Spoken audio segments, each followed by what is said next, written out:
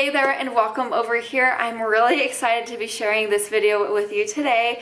I put together some of my all-time favorite healthier snacks that I like to make for my family and I am going to be showing you in this video. I thought since the new year is upon us, a lot of people might be looking for healthier snack ideas. But anyways, I hope you guys are all doing well and if you are new here, we would love to have you. So go ahead and subscribe down below the video, but let's get to making some snacks. We're to start out by making these raspberry muffins. These muffins are so, so good. My little daughter, she especially loves them. To this bowl, I added in two eggs along with a half a cup of some maple syrup. Next, you're to be adding in 3 fourths cup of some plain Greek yogurt. You could add some vanilla Greek yogurt or anything like that, but we like it with the plain Greek yogurt.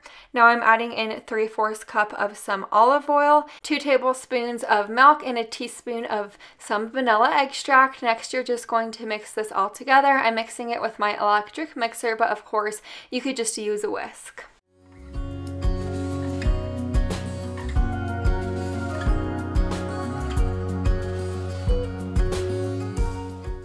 Now that we have our mixture nice and smooth and everything's combined, I'm adding in our cup and a half of some whole wheat flour, or you could use just some regular white flour if that's what you prefer. Then a half a cup of some rolled oats, a fourth a teaspoon of some salt, half a teaspoon of baking powder, half a teaspoon of some baking soda, and then again, you're going to mix this to combine.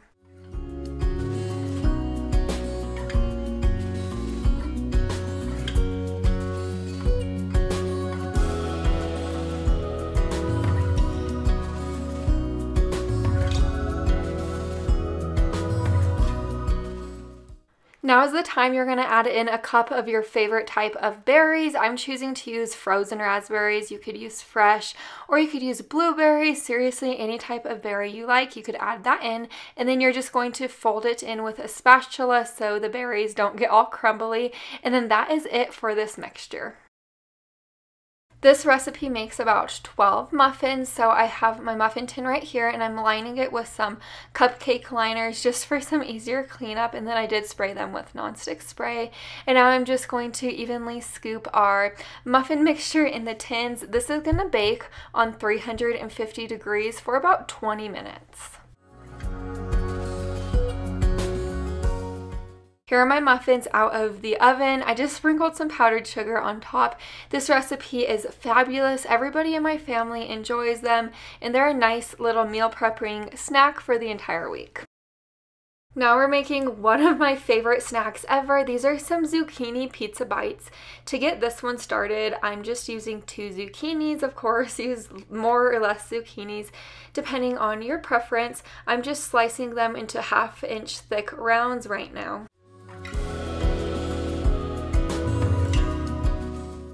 To my cookie tray lined with parchment paper, I'm adding our zucchini rounds right now.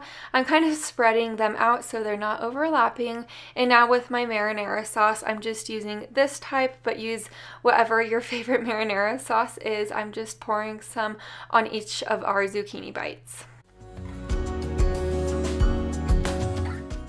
Now you'll want to add any type of topping you want on top of these pizza bites.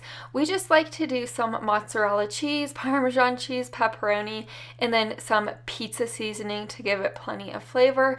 But if you like olives or if you like ham or pineapple or anything like that, you could add that on top of these little bites and it will turn out fabulous. This is going to go into a preheated oven to 375 degrees and I baked this for about 10 minutes and then I did leave this under the broiler for an additional one to two minutes at the end.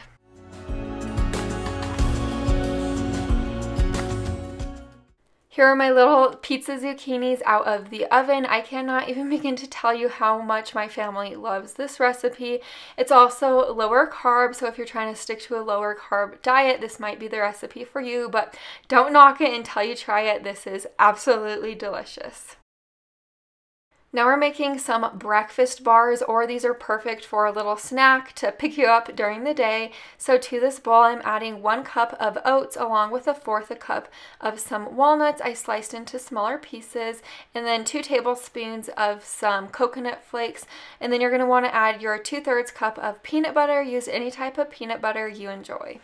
This truly is a very simple recipe. Now I'm just adding about a tablespoon and a half of some honey and then you're going to mix this all together.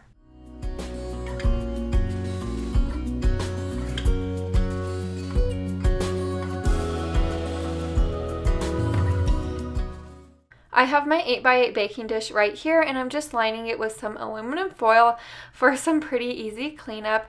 I'm going to place our mixture that we just made up right in there and then you're going to spread it out to the best of your ability. Yes, it is a little bit thick, but it will eventually get nice and even.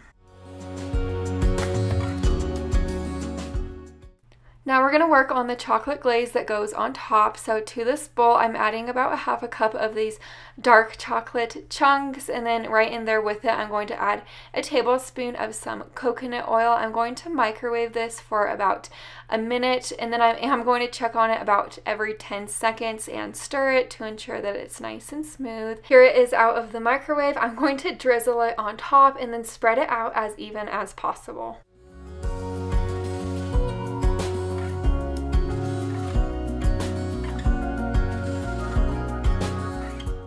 Before I plop this in the refrigerator, I'm going to add some more coconut flakes and walnuts on top just to make it look a little bit nicer. This is going to go in the refrigerator to chill for about an hour to ensure that everything sets.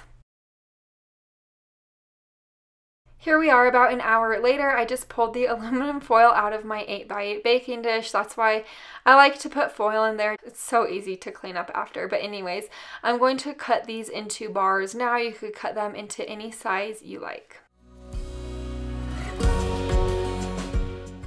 Here is the finished product. These are wonderful. They're almost like homemade granola bars, but of course better and cheaper. Granola bars can get pretty expensive in the stores, but anyways, these are wonderful. They have great flavor, plus they will leave you full for hours.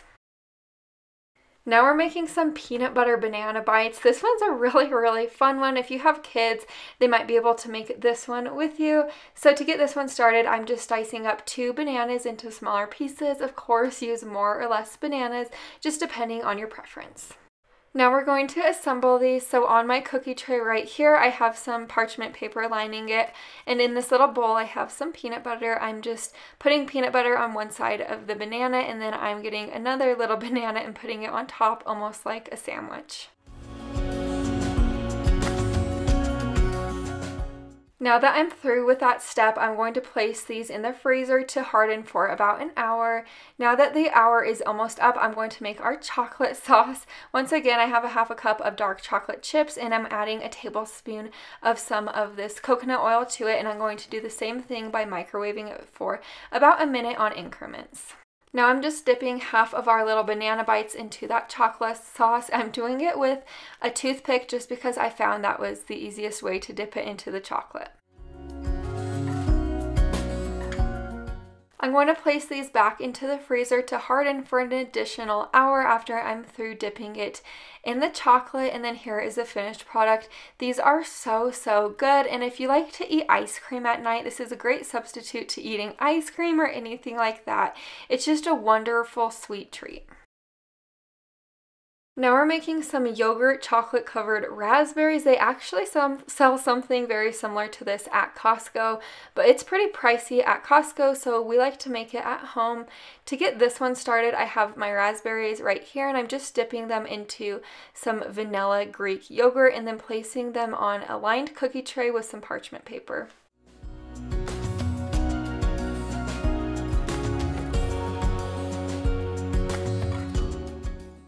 These raspberries are going to go in the freezer to harden for about an hour. Now that the hour is up, once again, I'm going to make the same chocolate sauce mixture that I made before.